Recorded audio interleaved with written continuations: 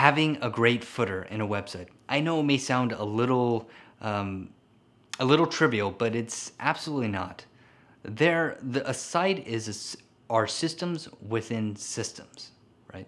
So even the footer has its own best principles.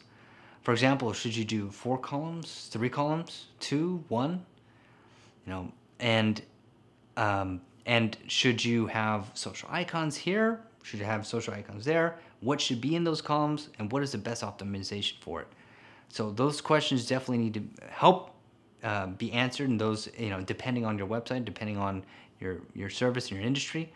But uh, one thing that I would absolutely suggest is with a footer, um, you you with the footer make sure that is up to date because one thing that can make your site look better in just a couple seconds is um, is at the bottom of the copyright. I can't believe how many times I've seen it. It says 2017, 2016. It says years before, sometimes five years before.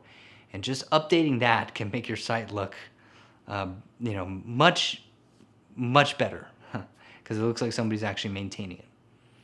So uh, and my personal favorite for footer for businesses is a four column uh, footer with navigation, contact information, a, a, search bar, and maybe recent posts or something like that, or additional information or a downloadable, uh, a downloadable white paper of some kind, or something like that. So just to give you guys some ideas.